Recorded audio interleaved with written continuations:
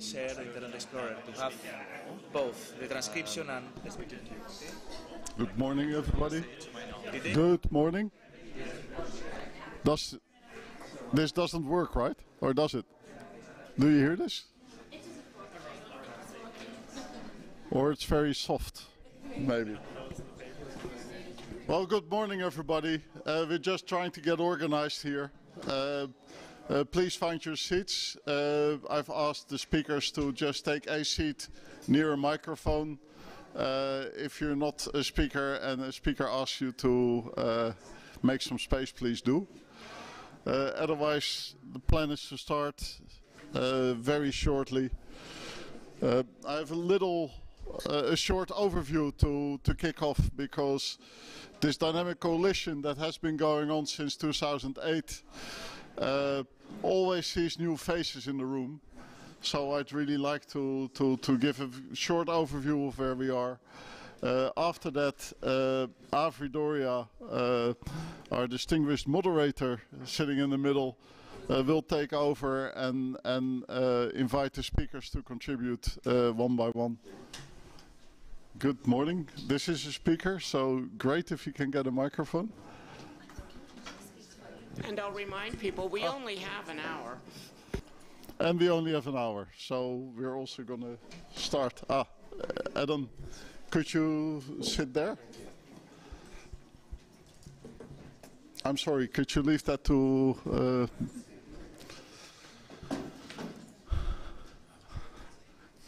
Good, welcome everybody. Uh, uh, can you help?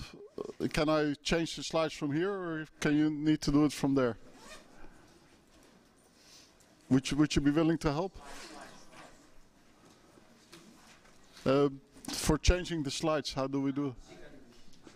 Okay, uh, well, thank you very much.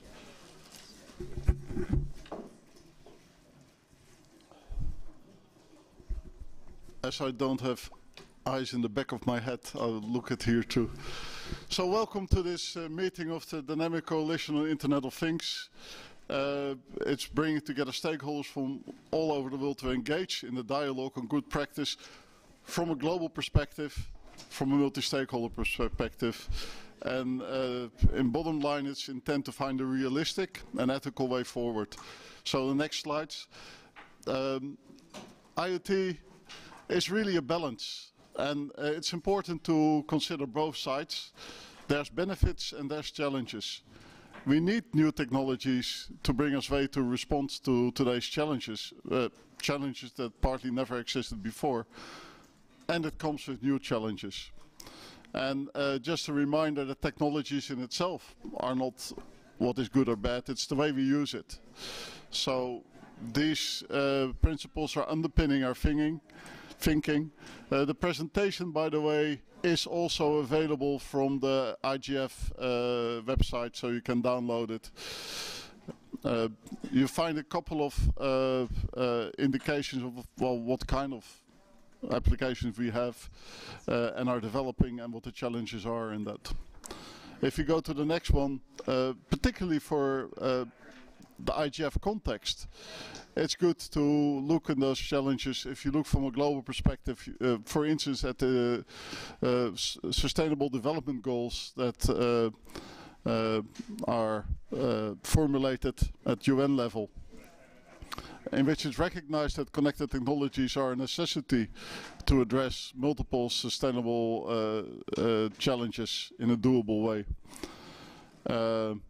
But it also requires sharing global knowledge and to know what we want, uh, global dialogue. Next one. There's a lot of applications, uh, ranging from uh, industry uh, applications uh, application in industry just because it makes sense and technology helps to improve processes, quality of, of processes, speed of processes, costs of processes. But also, uh, for instance, the, the, the, the nice floating thing in the water is uh, tsunami buoy. Uh, warning systems for uh, natural disasters, next to it earthquake prediction, uh, the management of infrastructures, but also in the home, ranging from the quality of the air to assisted technologies for longer independent living. Uh, but also in agriculture, uh, a lot of this uh, is in use. all kind of monitoring systems, and so much more. the cars, the session before this was about smart cities, which in a way is a big uh, IoT-enabled ecosystem uh, as well. So what does the Dynamic Coalition do? On the next slide. Uh, and the next slide. So how do we look at IoT? Uh, for us, it's merely a specific aspect of the internet. Like social media shaped the internet in different ways than it used to be before. Uh, so does the Internet of Things. And it has specific characteristics that will co-determine the development of future networks. And in particular, it's on uh, collecting, storing, providing access to many data related to observations by sensors, uh, but also uh, networks, autonomous or triggered by people with actuators take action following receipt of specific data uh, or according, and according to pre-programmed decision models, uh, uh, more and more possibly towards the future uh, AI uh, enabled.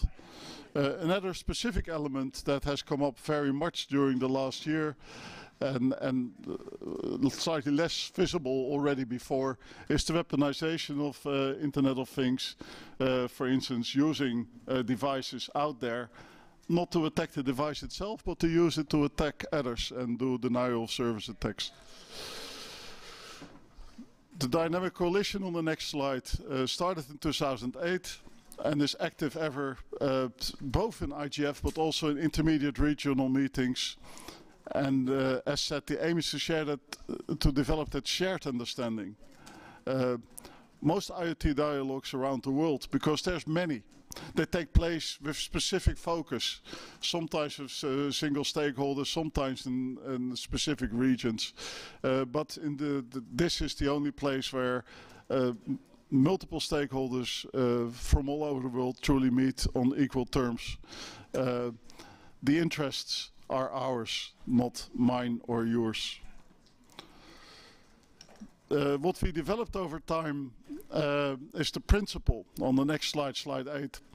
The Internet of Things good practice aims at developing IoT systems, products and services, taking ethical considerations into account from the outset, both in the development, deployment and use phases of the life cycle, thus to find the ethical and sustainable way ahead using IoT to help it create a free, secure and enabling rights-based environment the future we want.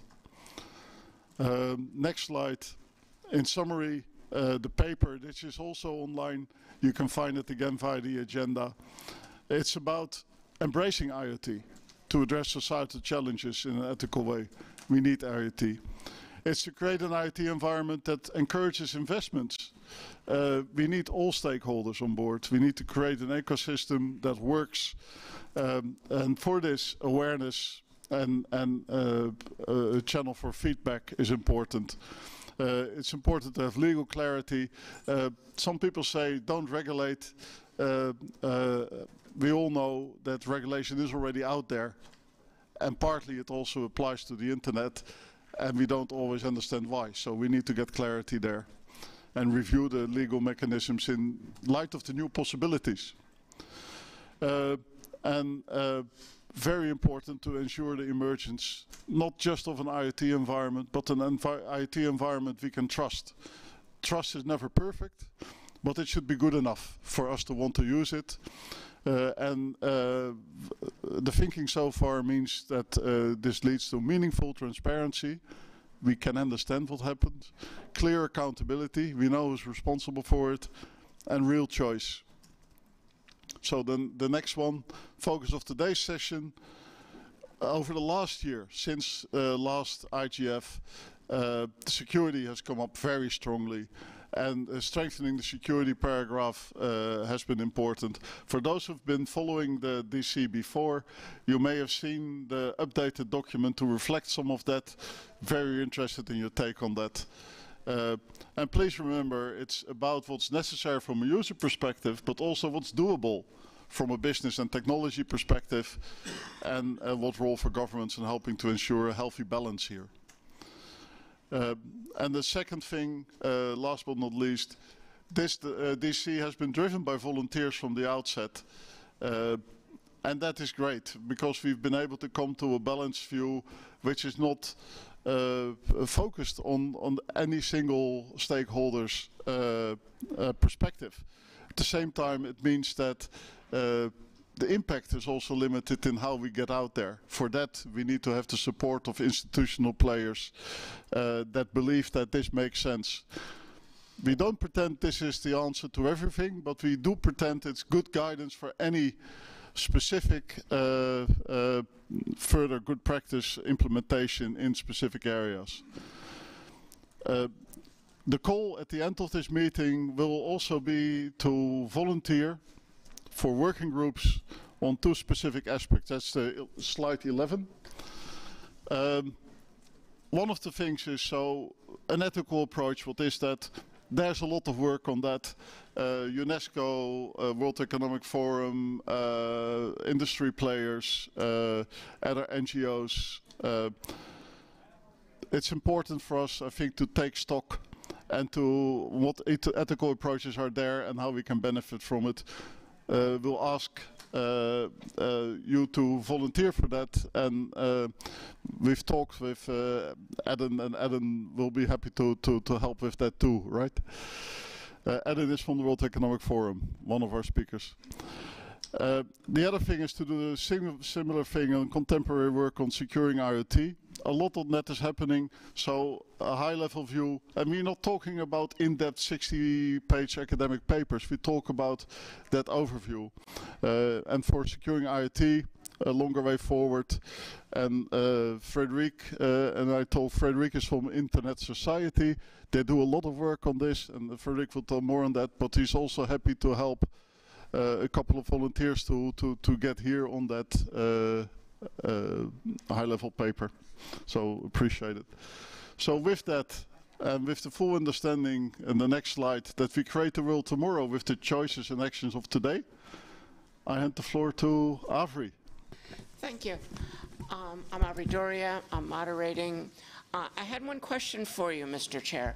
How long did we give each of our speakers uh, we had originally designed it as a 90-minute session, but it's a 60-minute session. So just I was wondering what their expectations, because I want to make sure that we get to a little bit of Q&A of, of the rest of the participants in the room. So how long are we guiding them? The, the guidance was three to five minutes. Three to five. Uh, okay, so I guess keeping it on the, the, the closer to three side, and I'll go with the order. Well, if it's three, I've got seven speakers here. That's 21 minutes, et cetera. So, uh, Frederic, I have you fir- listed first. So if you'd like to start. Thank you, Avri, and I will respect the three minutes. Uh, nice to be here and talk you through um, the, the IoT. Um, so I work with the Internet Society, and we are leading, as, as Maarten just said, um, a big campaign on IoT security and privacy. We are also impressed by the fact that we're talking about 20 billions. That is one of the more conservative figures I've seen recently. Uh, I appreciate, by the way, that nobody talking in this room about smart device. I could not hear this expression anymore because they are just dumb device. They are connected to something which is smart elsewhere. And this is the issue. Those 20 billion dumb devices are connected to the internet and transmitting all day, I mean all second information. This is what we're talking about. This is what we're talking about, the internet.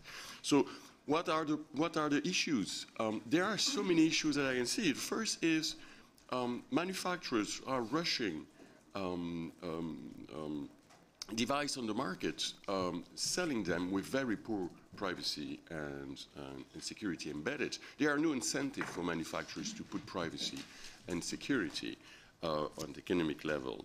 Uh, those uh, those uh, devices, as I just said, are connecting zillion of different information and data and transmitting those. Some of them we just don't know that they are transmitting. Um, the information consumers is a figure. Uh, I got figures showing that 59% of IoT devices fail to adequately explain to customers how their personal information are collected, used, and disclosed, just to give an example. And last but not least, most of the manufacturers in these fields are new to the IoT market. Those are usual manufacturers who were producing fridge or plastic dolls for, for kids, and now they squeeze um, wake up call. They squeeze um, uh, chips in it and it becomes a connected device. So that's the reason why we feel in, in society that we, we, we really should tackle this because as you know, everything you put on the internet become part of the internet. Um, and, and the risks, of course, are, are very well known. Um, data compromission, compromise or surveillance, uh, physical risk. Remember, just to take one I don't want to scare you, uh, uh, but there was this uh, denial of service attack in Finland where two buildings were seeing their own heating being just put to zero when it was freezing out there, when there was physical risk for people. And of course, the botnet attack that would allow me also to talk about inward versus outward security. I mean, people might just be concerned about the fact that if you put your toaster on the internet, someone might play with it and burn your fingers. That is inward security. But more important for us is the outward part of the security, and that is they might use your toaster as part of a huge uh, denial of service attack using 100,000 of uh, other toasters like it happened with the Mirai botnet. Um, so what do we propose? Uh, honestly, we believe that security is a collective affair. This is a collective, a collaborative process, because we don't believe that just regulation is a silver bullet or just to rush to manufacturers as the end of the top of iceberg would be a solution. So we believe we should address this in a wide way with different manufacturers. For the manufacturers, we come up with our online trust alliance uh, principles. Those are 40 principles from authentications to encryption, etc that for us, if manufacturers will follow those principles when producing uh, their device, we would limit up to 95% all the risks that I just mentioned. That would be for manufacturers on uh, um, a voluntary basis. OTA, remember this name. Policymakers, we came up, the Internet Society, I got also different proposals for policymakers to embed into their approach, not specifically regulation, policymakers can create an environment for security, but they also can make clear who is liable in terms of failures. So there is a lot of recommendation that we have for policymakers. One of the last one would to give consumer trust, as you mentioned, and that's what we call Trustmark. Pay attention, Trustmark is a very complex issue. It's just not a label that you put on a carpet. It's much more complicated, but we see this as an ultimate goal, one of those who might just give consumer trust. Avri, I took three minutes, and I'm happy to answer any question. Thank you. I think we'll save the questions for the end, otherwise we may not get to, to all the speakers and all the questions. The next one I have on the list is Eddan Katz, please. Hi. Um, uh, I'm from the World Economic Forum, uh, the Center for the Fourth Industrial Revolution based in San Francisco. Uh, let me uh, explain a little bit about how it's structured. We have different project teams, one of which is uh, on Internet of Things and smart cities, and uh, I was working with, I'm on the data policy team, but was working with that team on a set of principles in regards to the industrial IoT safety and security protocol. Since I have three minutes, I will refer you to that on the internet, um, uh, the IoT safety and security protocol from the World Economic Forum. Um, what we've done with our protocol design networks uh, is bring together a multi-stakeholder set of, um, uh, of groups. In particular, for this group, uh, a network of experts from the finance industry, technology companies, electronics manufacturers, uh, uh, members of the DCIoT, and Maarten uh, contributed a great deal in this while in draft last year at IGF was distributed on the mailing list uh, government representatives, standard setting bodies, uh, industry associations, and entities deploying IoT systems. Um, I'd like to share some of the observations about uh, the agile governance that we're trying to um, uh, uh, approach this with in regards to what the dynamics are.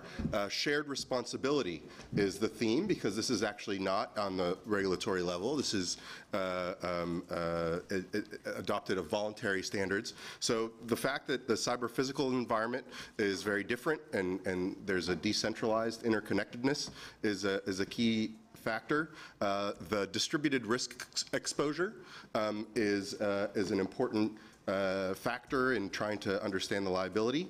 Um, and uh, the risk mitigation challenges uh, are why we turn to the insurance industry uh, as a major part of this, um, this uh, endeavor so that the cybersecurity best practices that were developed uh, as part of this protocol would be taken on by the insurance in- industry so that entities deploying IoT systems would, while abiding by the cybersecurity best practices, would qualify for uh, insurance or for a discount uh, on that insurance. That's the mechanism. Uh, our experience so far, since this was published, uh, uh, though still an ongoing thing in April, um, is that uh, taking a lead within the insurance industry has been somewhat challenging. Um, and, and while we've had some positive experiences and are now getting off the ground um, with some particular in- in- insurance entities that are interested in adopting this, uh, it has been difficult.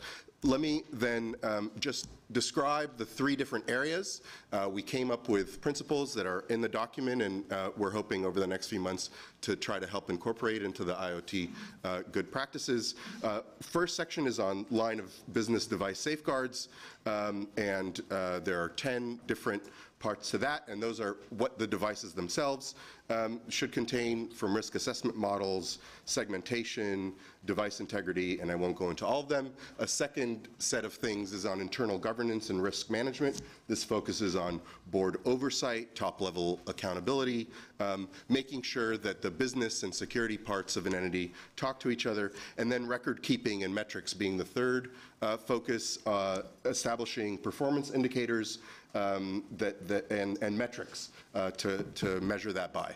And so you can find more on the IoT Safety Security Protocol. I'd be uh, uh, happy to answer questions on the protocol design, our IoT uh, project, and how we can plug better into the Dynamic Coalition in the coming year. Thank you. Uh, The next speaker we have is Taylor Bentley from ISED. Hi, everybody. Bonjour à tous. Um, so, yeah, my name is Taylor Bentley. I am from the Economic Ministry in the Government of Canada, uh, Innovation, Science, Economic Development. That's ISED. So, uh, the story goes back to 2016 with the Mirai botnet. Um, the uh, continued calls since then have all been to ask for more regulation, for more, uh, I guess, uh, frameworks around Internet of Things devices. Uh, these calls and the research that we had um, done to respond to them, you know, came to the conclusion that such a proactive approach would not be consistent with Canada's traditional light-handed approach, where we use framework policies and laws of general application to uh, instill the same rights that uh, and responsibilities that uh, consumers and businesses uh, must uh, exhibit offline as online. So the question was, all right, if uh, we're not going to regulate in this space, how do we pre- preempt it? Um, so uh, with that, we were uh, very happy to enter into a partnership with the Internet Society, um, with CIRA, the .ca operator, uh, CIPPIC, which is a, a law clinic in the University of Ottawa, and CANARIE, which is the Canadian Academic Research Network, for a Canadian multi-stakeholder process on enhancing IoT security. So, I- IoT security 2018.ca, by the way. So, um, how, where to start? Um, we tried to start with definitions, and that was fruitless. Um, and then we started with what's already been done. Um, and the thing is that there is quite a bit. Um, if you know anything about Canada, you know that uh, we have lots of internet use. We have lots of uh, prolific internet users, but um, like most places, consumers are generally not uh, informed or are not prioritizing security and, and privacy concerns. Um, businesses are 90% small, medium-sized enterprises who also uh, struggle to demonstrate basic uh, cyber resilience. So we have a plethora of resources, both on for the consumers and for businesses, but how to navigate between them, uh, how to advise what is the best approach, both um, when businesses or consumers are adopting uh, smart solutions or uh, Internet of Things solutions. So it's about reducing risks, it's about ensuring innovation and adoption, ultimately ensuring trust. So there are three working groups, Consumer Education and Awareness, which has developed a shared responsibility framework for devices. It focuses on key messages on IoT that would be delivered both to consumers, so indicating the key behaviors that we'd like to see from consumers, but then also the supply side of that. So how can government, standards making organizations, international organizations, civil society, et cetera, and businesses, manufacturers, how can they support those behaviors? The other working group on labeling and standards has outlined considerations of a labeling and standard scheme for IoT devices, um, including a lot of work highlighting work done by the CSA, the Canadian Standards Association, on a new standard. Um, so a big part of this is going to be uh, also providing guidance on how businesses can consider this uh, sea of standards and how they might be able to, oh, thank you, um, and how they may be able to navigate. The um, final is the Network Resilience Working Group, which is fleshing out recommendations for network level defense defenses that operators can implement now. Because while we talk uh, and have a lot of good ideas about design level improvements, um, I think we have a lot of ISPs and network managers um, that can do a lot of good work now. So uh, we need to sift through and uh, help everyone reduce the risks and get the kind of social and economic benefits that we're looking for. Thank you. Thank you. And uh, next I have is Claudia Selli and from AT&T, so please. Indeed. Um, thank you very much, uh, Ari and Maarten, for having me here um, today um, with you. So as Ari said, I'm from uh, AT&T, and uh, of course at AT&T we're looking um, a lot um, to creating a business solution and uh, state local solution to um, provide our business enterprise uh, users uh, a global and seamless experience because they, we are connected our clients wherever they are and uh, we have 48 uh, million devices connected to uh, the internet as of the third quarter of 2018, and we have um, among them, for example, we are connecting cars and other uh, objects or home solution and these kind of things. And the IoT is really the network that is combining the physical device and technology, which uh, then enables connectivity, that exchange, and increased opportunity um, as well for the integration of the physical world to the technological uh, system. And the main aim is really uh, to um, cut the costs and so have an economic benefits um, to decrease the human intervention in supporting all of those uh, connected devices, but um, as well to increase the experience of the uh, users and consumers. Uh, and of course, uh, you know, now that objects are all connected to the internet and are talking to each other, they can certainly in, improve our um, lives in, in many ways from the uh, little and tiny, maybe micro um, example of uh, when you wake up and uh, uh your telephone, your alarm clock send uh, the message to the coffee machine and the coffee machine start to brew the coffee. And so you can maybe concentrate on mails and other things and be more efficient at work to the more uh, complex example of uh, connected cars and, and smart cities where you can really manage, you know, the traffic and reduce the um, incident and, and as well uh, manage better the infrastructure. And we can uh, we, we have plenty of those examples. For example, you can go to the cargo experience where we uh, um, uh, track basically the merchandise that is being shipped, and you can really uh, the business can monitor, for example, the humidity, uh, the, the, the the weather condition, and see whether the merchandise is is reaching the end consumers in a good state, or whether maybe they need to take another decision and not to deliver the merchandise because it would be a bad, uh, probably um, in a bad state. But these are just a few examples, and I can go and continue on and on uh, with, with, the different devices and applications. And of course, to the uptake of these applications and, and, and, devices, what is really key is creating um, an environment that is trusted by the consumers that are using those devices, and also where we can protect the privacy as well of our customers. And the different governments around the world are really struggling on how to tackle privacy and security which are really the main elements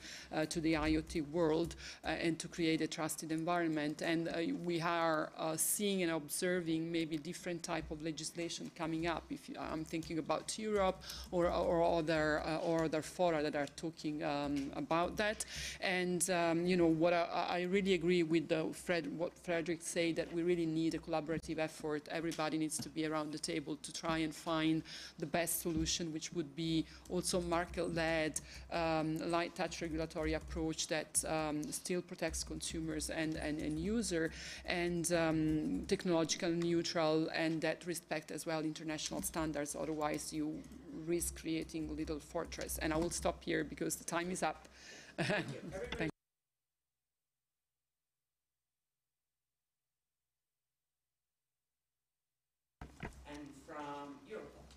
Hello, so yes, I'm Greg Mounier from Europol. That's the European Police Agency. I work for the Cybercrime Center. And I'm also speaking on behalf of uh, my colleague from ENISA, the Cybersecurity Agency of, um, of, of, the European Union. Um, I will have a different uh, take on this. Uh, we look at uh, IoT security from a victim and, and consumer protection perspective.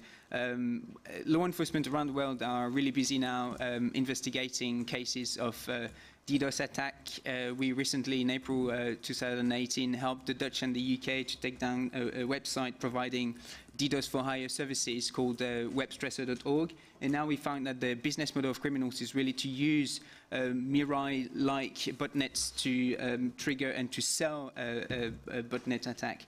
Uh, we're also uh, pretty busy working on um, uh, how IoT is being misused by criminals for extortions. So uh, they use IoT uh, uh, poorly protected to spy on people, to steal information, to use uh, um, many different things, and, and, and to make money and really to, to, to do victims. And so from that perspective, um, ENISA, for instance, has come up with a number of uh, recommendations. So they call it the baseline security recommendations for IoT.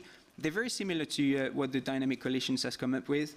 Um, they're a bit technical, they're also very common sense type of um, uh, pr proposals, but really the baseline is that um, most of the victims uh, we're looking at are victims because most of the um, IoT devices are very uh, are lacking the, the basic security features. And one of the reasons for that, we believe, and uh, some might call our view simplistic, but we call it common sense, is that there is no legal obligations for security of, of product.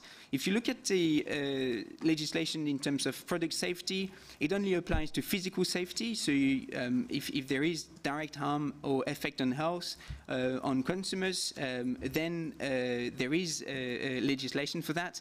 But it's not clear if a lack of security of connected devices um, that would have an impact on health would actually fall in the scope of uh, EU product safety legislations.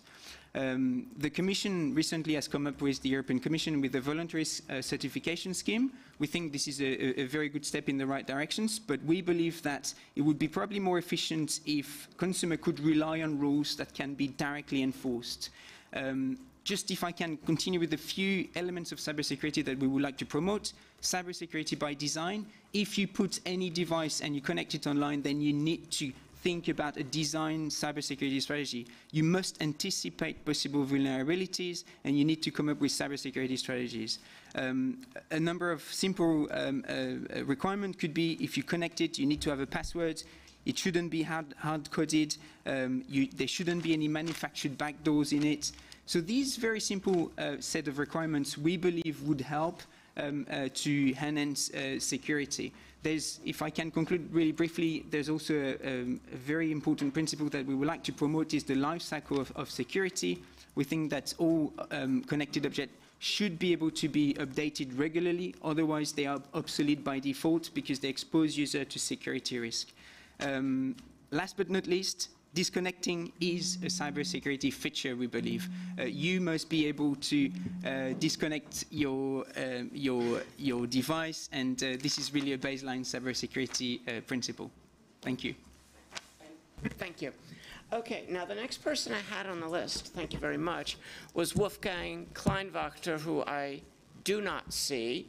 So, and then I also had uh, Ram Mohan, who I don't see, but I was told that there was another speaker from Afilias, um, uh, Melinda Uh, Melinda, do you have a microphone where you are? Yes, I do. Can you? Okay, please. Is that working? So, yeah, so it's Melinda Clem? It's Melinda Clem, yeah, I'm the Vice President of Strategy at Afilias. Ram sends his regrets. Um, I'm going to just give a brief discussion of our focus in this area and try to seed some time uh, back to the discussion and problem resolution.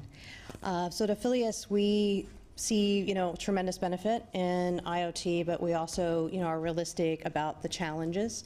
Uh, We've got those categorized in, in five buckets um, security, both the creation and effective implementation and, and practice of protocols, interoperability, privacy, trust, which we define as uh, global reach, accessibility, and um, and then finally the strategy around um, how you address orphaned technologies, right?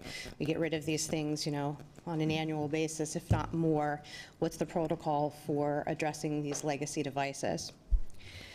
The focus at Afilias is um, one where we're trying to, you know, we cooperate with both the civil society and the public sector, but the reality is that the internet advances at a rate that far exceeds um, any governance ability to keep up.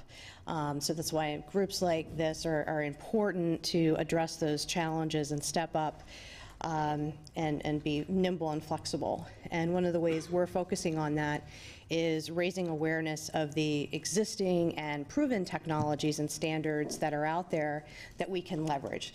Uh, we're not necessarily starting from zero on everything that we have today. Um, those specifically are ones that are in our bailiwick and we think can be leveraged are the DNS, um, you know, both the domain name system itself, the registration model of inherent security built in, they're proven, they're working, uh, core part of the internet infrastructure that can be leveraged. And secondly, DNSSEC. We've got built-in security uh, that works, and it works throughout the, the ecosystem. And both of those things are sitting there waiting and ready to go to be implemented in um, select IoT cases, largely for things that aren't uh, natively connected today and have some sort of a chip technology. Finally, we um, see a couple of factors of success, and, and first and foremost is providing the greatest benefit uh, for the user and having a user-centric model here, both in terms of um, giving them what they want, but then the ability to control their own data and privacy. And finally, that security and privacy is a responsibility that is shared uh, at each part of the ecosystem. In no case should it, it rest at any one person. It's all of our collective responsibility. Thank you. And uh, thank you all for having kept it re- really quite, quite short. And I will not spend a lot of time recapping what you all said, because I'd really like, you know, although I did hear words like cooperation, I heard words of building on what we've got, things on enforcement and using fairly normal methods and principles, protocols, et cetera. So I think that's wonderful. And, and, and, and it is, it, it is actually a, a building of the new with a combining of the old and recognizing that. I'd like to, uh, yeah, one thing I forgot to do, which was to, to also introduce our rapporteur, uh, Ryan Triplett, who's there taking notes and we'll do a much better job afterwards, sort of talking about what has been spoken of. I'd really like to open it up now to comments, to questions, to answers, to answers to some of the points like the strategy, the where we're going forward, the how we're moving forward, the people who want to say, yes, I'm going to help work on this part of it, which was also one of the questions that, that Maarten asked. I'd like to ask the people that comment, try to keep it to under two minutes, if we can, so that over the next 20 minutes, we can get as many people as possible in. So, while I've been talking on, has anybody decided who wanted to be first to comment, question, or answer? And please introduce yourself when you speak, because I may not know you. And I keep talking, but no one has raised their hands yet. Okay, see if we can find someone that hasn't. Okay, so I've got one, and then two, so, and then three. Okay, I've got four now, so please, go ahead. Okay, good morning. Uh, Thank you. I haven't got a microphone. Uh, microphone Yeah, should, for. Sorry, so, the yeah, microphone so is should useful move for a remote microphone if you participation. can. Okay, I, will try to make it work. Um, good morning. My name is Jasper Pandza. I work at the Department for Digital in the United Kingdom. Um, really glad to be hearing about all the initiatives on, on IoT security that are happening, including this dynamic coalition uh, and, and, many of the other um, um, uh, areas of work. I, um, I wanted to say that we in the UK, we take the security of IoT incredibly seriously, and we are taking forward a number of, of initiatives and policy interventions in this area. And um, in particular, last month we have published a uh, code of practice uh, for manufacturers for the security of, of consumer IoT devices. Um, we believe this really moves the debate forward. And what the code does, it brings together um, what is widely considered good practice, so with the three top guidelines being no default passwords, um, implementing a vulnerability disclosure policy, and making software updatable. So um, we believe this, this can help many of the existing initiatives on IoT security because we, we've, we've carried out a 18-month consultation process with industry, with civil society, um, with academia as well, and and hopefully we hope that our code can be can inform the maybe the dynamic coalition work. So I'm happy to contribute um, to this um, to the security paragraph that you mentioned. Um, I will also be speaking about this tomorrow, so I don't want to speak much more about this now. But um, feel free to to speak to me if you like to understand more. Thank you. Thank you. Okay. Uh, yeah. Please grab a microphone. And introduce. Uh, I'm Mike Nelson. I work for Cloudflare, which is an internet security firm. Um, if you know about us, you probably know that we protect websites from DDoS attacks. But the truth is, our future is in securing the Internet of Things. And uh, if you want to know more about that, there's a very good Wired article on Cloudflare and its overall strategy on the Internet of Things and what I like to call the cloud of things or the coat, the cloud of all things. But I wanted to just uh, pick up on an, uh, a word that wasn't talked about very much except for Maarten's introduction, which is, is ethical. I mean, the, the dynamic coalition has made that a very important overarching focus. But I think in order for that to be useful, we have to answer a very simple question. Uh, this is a question I heard in 1995 when I went to the first UNESCO conference on info ethics, and I heard it yesterday at the GovTech Summit. And the question is, whose ethics? In the UNESCO meeting, they debated for 15 minutes whether it was Kantian ethics or Hegelian ethics. And yesterday it was Confucian ethics, Baptist ethics, or utilitarian ethics. So any of the ethicists in the room care to take on that? And, and why talk ethics rather than human rights, which is actually better defined? Thank you. In fact, whenever I hear people talking about ethics, I go to the abstraction of human rights as defined, because that was as close as we got to agreeing on, on, on common ethics. So thank you for bringing that up. Would, Nigel, would you allow you two next. fingers? Huh? Would you allow two fingers? Uh, yeah, where were the two fingers from? okay, then I'll just put you, put you in, in the queue. Nigel, I had you next. You should never say two fingers to ethics, surely. Uh, Excuse me? That's the sort of level of humour you get from ICANN. Uh, Nigel Hickson, ICANN. So, uh, I mean, the only point I had really is I, I, I suppose this, this, this debate is, is, is very important on a number of levels. And one of the, one of the levels addressed by uh, Interpol uh, was, of course, the the specification, the security standards of the of the products, and and this this of course is is is important. It's it's a it's a debate that's been had now in in relation to Internet of Things, but it's a debate in the part in the past that's been held on on many other product areas.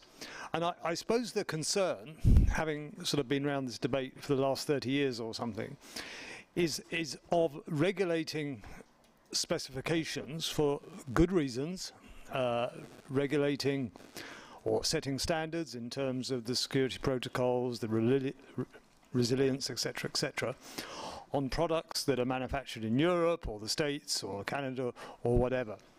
But how do we facilitate these to become global standards for the multitude of Internet of Things devices that are manufactured all over the world, where perhaps these standards and these protocols, etc., just will not be picked up. Thank you. Thank you, Nigel. I had two more people, two more participant non-speakers, and then I had three of the speakers who have raised their hands. But I, but I, I saw the hand in that area, but didn't manage to identify who had been the hand. So which one of you did raise your hand before, or right after Nigel? And then I know there was, okay, I'll go, I'll go to, to, yeah, t- to you, yes, please.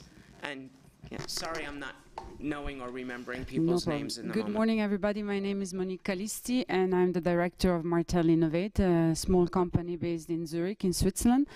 Um, I think that um, it's very important that we gather input from several initiatives, and I'm very glad to have seen that several speakers are representing very different stakeholders. I think it's a huge responsibility. There is in Europe uh, quite a lot of work being done. Uh, we have a um, an initiative called Next Generation Internet and an initiative that is called also um, Internet of Things um, large scale experimentation.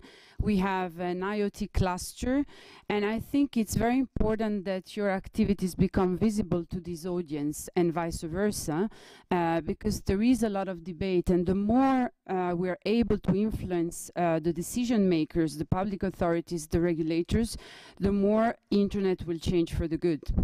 So yes, I think it's important to have all the players in the radar.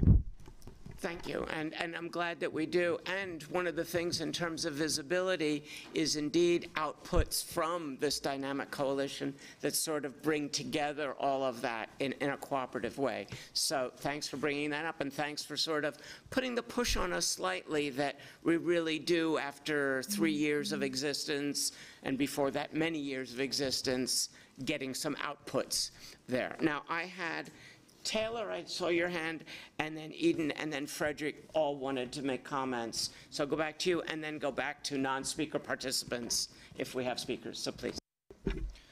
Um, Great, thanks very much. Uh, again, again, this is Taylor Bentley from the Government of Canada. So, um, in our, a lot of the questions are about, you know, who decides and, and how do we figure it out? Well, you do it col- collaboratively, of course. Um, but I think the answer, I mean, unfortunately, standards is just one of those things that's going to take a long time. Um, as I say, the design principles also are going to take a long time. This is like two or five years out. Uh, you know, if we're lucky, something catastrophic doesn't happen, but it could.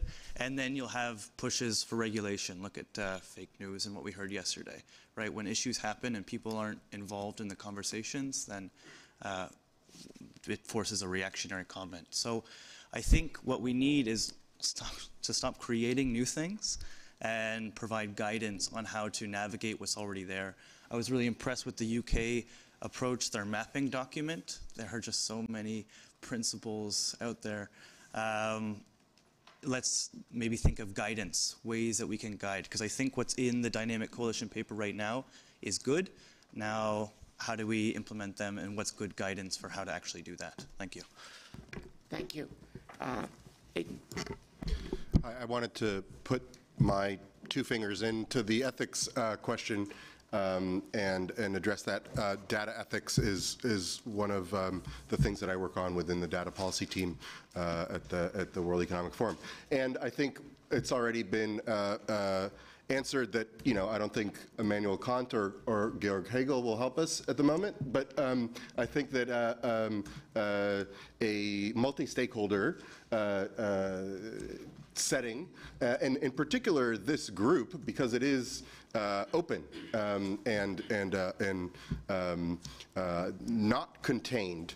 Uh, the process that we went through included primarily people chosen um, and uh, uh, very deliberately to be as uh, much of a cross section in different parts, uh, even unexpected ones, but also to make sure that it was also open uh, to a broader conversation during the process of drafting. It was distributed to this group. There wasn't much feedback, but I hope that in the coming month, as I'll, I'll send around um, the near, well, the finalized sort of version, um, that there'll be some more comments on that. So I think the answer is for ethics, it is who decides, and that the answer, especially now more than any other time, is deliberately inclusive, uh, deliberately uh, geographically diverse, and, uh, and ensuring that um, as many voices as possible are representative. That's not a definitive answer, but it is a, a process one.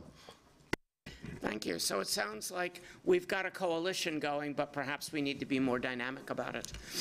Um, okay, Frederic, I had you next. Thank you, Avri. Um, well, fortunately, our Canadian friends already said most, most of what I was about to say. Canada is ahead of the curve. The, we're very proud to contribute to the multi-stakeholder group that we try to socialize. We start also in France Senegal. So watch out. I mean, we, we're very happy to continue this conversation in a very multi-stakeholder model. So first.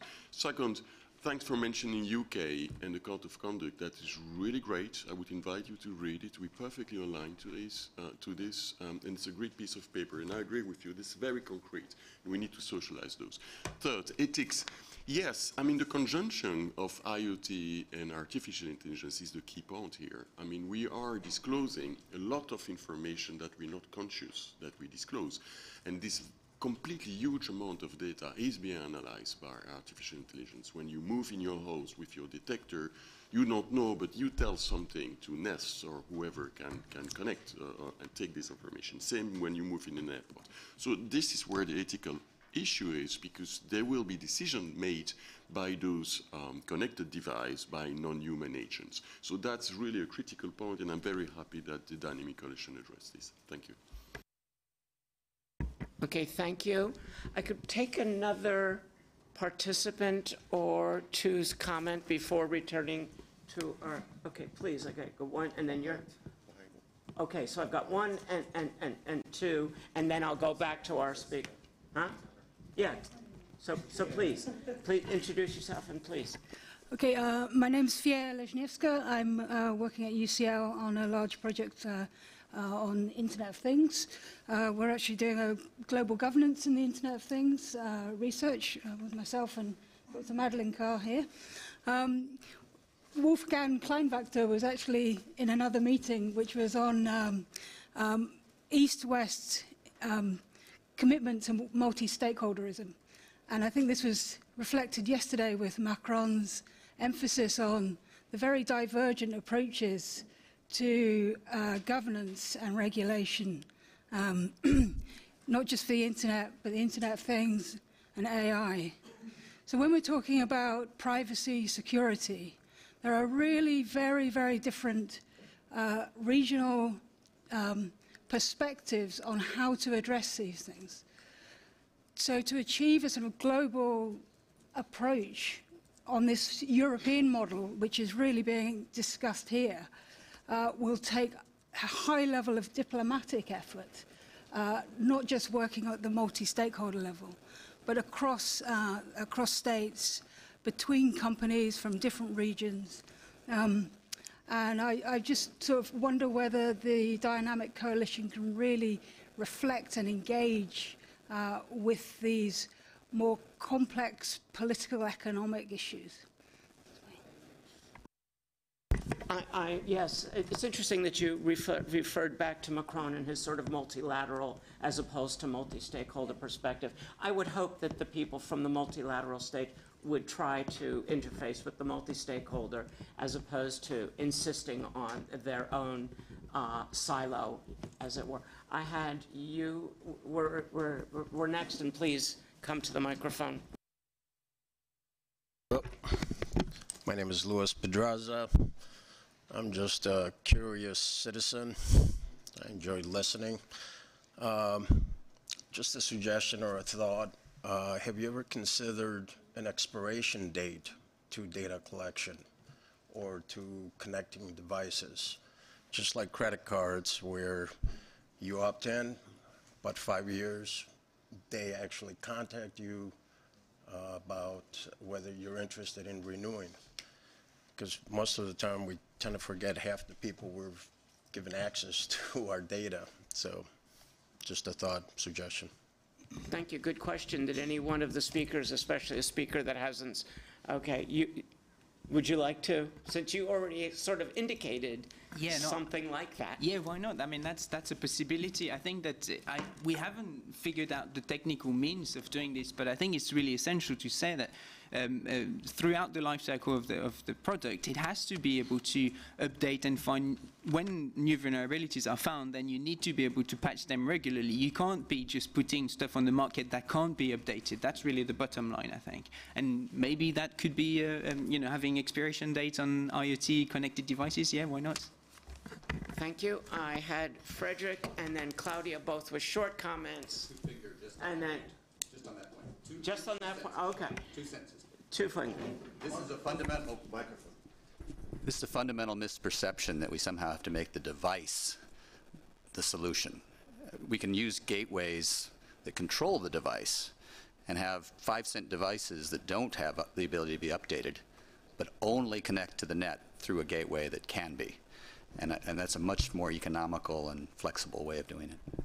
Okay, thank you. I have a quick comment from Frederic, a quick comment from Claudia, and then back to Maarten to close the session. Okay, so quickly, yes, uh, I, I agree with what has been said. We got this in an online trust alliance. We should be able to control uh, the device or the connections, whatever it is. And the, the problem is indeed those days you got devices that continue to co- uh, uh, change data when you don't know that they do because they're broken and they continue to do what they do. So I agree with you, you consumers and users need to, to perfect control of the data. We got this covered in 088. Thank you. Thank you. Claudia? Um, Yes, well, uh, two quick comments. One is uh, concerning the, the, um, the, the fact that the dynamic coalition should be interactive with, uh, uh, you know, the political environment, and I think that we cannot really ignore that because in any case they're coming up with laws that we all have to respect and abide. So we, we need to uh, certainly respond to this regional, different regional perspective, even if we are um, you know, in, an, in another uh, setting or, uh, and then the, the other thing, I, I agree that we need to control as well the devices, but on the other hand, you have also uh, laws that are being drafted and created that sometimes don't allow you to do that. So uh, it, it depends how these laws are crafted. Thank you. Problem with these sessions is it takes about an hour to get the conversation going. Um, it's, it's yours, Maarten, to, uh, to, to, to wind it up and, and close it. And perhaps you want to mention something about the part you're taking in the, uh, the overall main session, because the Dynamic Coalition's part of that one too, right? Okay, thank you very much. Uh, thank you all for contributing. Uh, uh, this is what we try to do, bring people together in a room that are interesting already. So we've had the discussion. Uh, explicit invitation is to, uh, if you want to participate in either the ethical paper or the, uh, the uh, internet secure, uh, IoT security paper, to uh, provide your business card. Um, we'll make sure that this helps, uh, this works. Um, the other thing is uh, very much that uh, with this room, we also do have a number of governments because they're interested, uh, government organ governmental organizations. This is how these things get out. It's industry that is engaging. Uh, what Michael brought the point of, of, of ethics and, and, and Adam, uh, it, it is an ongoing discussion on how do we tackle this in the right way. Because we all want in the end an internet we can rely upon, that we can trust. Uh, it will never be perfect, but it should be trustworthy. And uh, the Internet of Things is an important role in that. So, having uh, heard the the contributions also from from Greg from from Europol, he was talking from a law enforcement perspective. But he also indicated he's also part of an initiative working with ENISA uh, on, on uh, network information security policies, on, on measures uh, with, with RIPE NCC, the technical community, on what can be happening on the technical level. And we see these discussions back on IETF as well, who've been deeply involved in, in these sessions before. Today we don't have a speaker from that. I think uh, Melinda clearly indicated that uh, part of industry is really seeing, so how can we help the user to make this and, and, and the, the business to make this a trusted uh, offer uh, by looking at security, but she also mentioned privacy as this is part of the package that you need to offer nowadays as well, um, uh, very clearly. Um, uh, Justin, thank you very much. And the, the nice thing between UK and Canada is we see two governments taking this very seriously and coming from a slightly different angle. And I think together we'll find a way where uh, also useful government support of these kind of processes will come back. So appreciated that as well. Uh, last but not least, uh, uh, if you have any links to initiatives you're aware of, we're not aware of yet, please let us know. We'll include it in the report. It will reflect, be reflected on the IoT website, which is also indicated in the slide uh, thingy, which, which you can find online. Other sessions coming up that may be of your interest include uh, tomorrow uh, at 10, 10 there's a session in room 9 organized by this gentleman uh, with as much hair as I have. This is the only way I can uh, afford to say it. Uh, uh it's an open forum where uh, multiple players will talk about uh, IoT security aspects and how we can how would you say that, solidified towards the future. We know we have things to do there. Uh, another session this afternoon is uh, on the economics and uh, the development issues of IoT. Uh, that's in the main room at 3 o'clock. Uh, we'll also uh, highlight how IoT adds to achieving sustainable development goals. And then tomorrow at 11.50 I want to point you at Best Practice Forum in which uh, Michael will participate as well, uh, which will be on uh, artificial intelligence and the enablers of IoT and, and big data that feed into that. So thank you very much for your attention and uh, don't forget to leave your business card, indicate on it ethics or secure and uh, your links and uh, looking forward to see you next time.